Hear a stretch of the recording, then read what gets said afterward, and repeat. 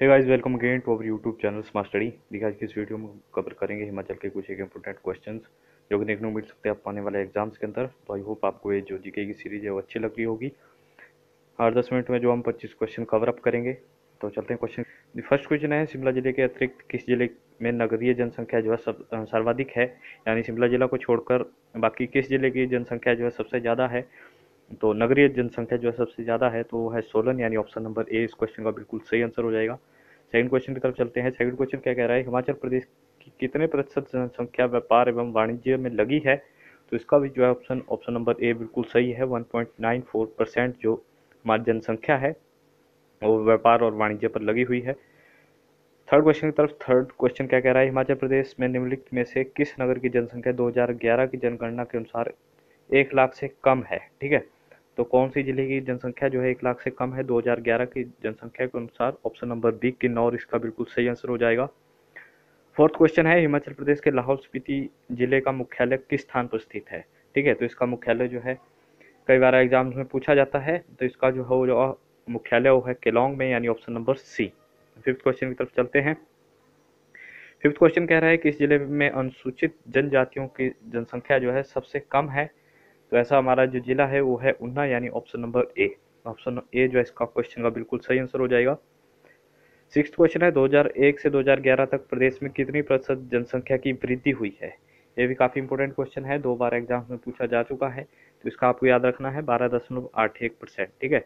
बारह दशमलव आठ एक प्रतिशत की जो है वृद्धि हुई है 2001 से लेकर 2011 तक। सातवां क्वेश्चन है, हिमाचल प्रदेश में सबसे अधिक आबाद गाँव वाला जिला कौन सा है? सबसे आबाद गाँव वाला जिला है हमारा कांगड़ा ऑप्शन नंबर डी आठवां क्वेश्चन आठवां क्वेश्चन क्या कह रहा है? हिमाचल प्रदेश में सबसे कम जनसंख्या घनत्व वाला जिला कौन सा है? ठीक है, जनसंख्या घनत्व की बात कर रहा है तो आपको याद रखना है लाहौल स्पीति, ठीक है। सबसे कम जनसंख्या वाला जिला पूछे तब भी आपको लाहौल स्पीति ही याद रखना है। लेकिन यहाँ से जो है कई बार क्वेश्चन पूछा जाता है, सबसे ज़्यादा जनसंख्या वाला, तब कांगड़ा की बात आएगी। लेकिन अगर सबसे ज़्यादा जनसंख्या घनत्व वाला ज़िले की बात करें तो हमीरपुर आपको याद रखना है। नाइन्थ क्वेश्चन तरफ़ चलते हैं। नाइन्थ क्वेश्चन है, किस ज़िले में प्रति हज़ार पुरुषों पर स्त्रियों की संख्या प्रदेश की प्रदेश के सबसे अधिक है? ठीक है? तो किसमें जो है, महिलाओं का लिंगानुपात जो है ज़्यादा है तो आपको याद रखना है कांगड़ा ऑप्शन नंबर सी दसवां क्वेश्चन ऊना ज़िले की 2011 की जनगणना के अनुसार कुल जनसंख्या लगभग कितनी है? ठीक है? तो ये जो हाई लेवल के एग्ज़ाम्स होते हैं, उनमें कई बार जनसंख्या पूछ ली जाती है डायरेक्टली तो उन्ना की आपको याद रखनी है, पाँच लाख इक्कीस हज़ार सतावन टोटल जनसंख्या आप हर एक ज़िले की याद कर लीजिए, अगर आप एच वगैरह की तैयारी कर रहे हैं तो उनमें पूछ लिया जाता है। नेक्स्ट क्वेश्चन है, हिमाचल प्रदेश के किस ज़िले में अनुसूचित जातियों की जनसंख्या सर्वाधिक है? तो सबसे ज़्यादा जो अनुसूचित जनजातियाँ हैं, वो है कांगड़ा के अंदर ऑप्शन नंबर सी तेरहवा क्वेश्चन देखते हैं। तेरहवा क्वेश्चन है, हिमाचल प्रदेश में नेशनल बायोलॉजिकल लेबोरेटरी कहाँ पर स्थित है?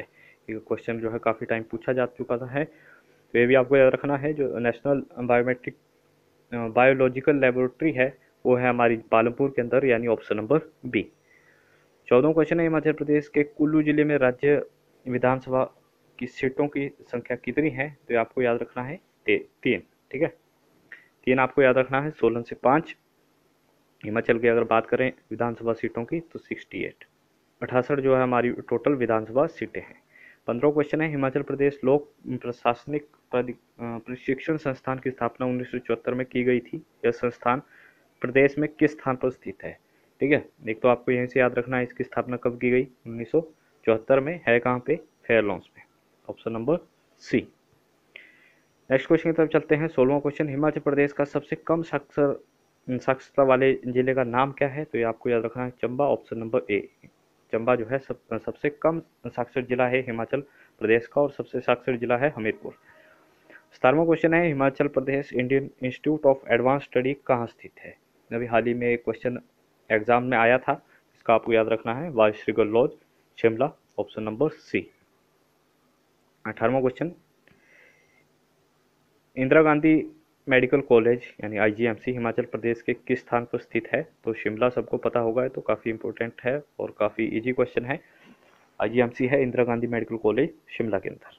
उन्नीसवां क्वेश्चन देखते हैं। हिमाचल प्रदेश विश्वविद्यालय यानी HPU की जो स्थापना है, वो किस वर्ष की गई थी? तो इसकी स्थापना की गई थी नाइनटीन में, यानी ऑप्शन नंबर सी बीसवा क्वेश्चन है निम्न में से हाई या सीनियर सेकेंडरी शिक्षा से संबंधित शिक्षा बोर्ड का मुख्यालय प्रदेश में कहाँ स्थित है? तो हमारा हिमाचल प्रदेश का जो एजुकेशनल बोर्ड है, वो है धर्मशाला में ऑप्शन नंबर ए इक्कीसवां क्वेश्चन है निम्न में से प्रदेश में किस स्थान पर एन शिक्षण संस्थान है? ठीक है? एन का जो प्रशिक्षण संस्थान है हमारे, वो है सोलन के अंदर, यानी ऑप्शन नंबर डी इस क्वेश्चन का बिल्कुल सही आंसर हो जाएगा।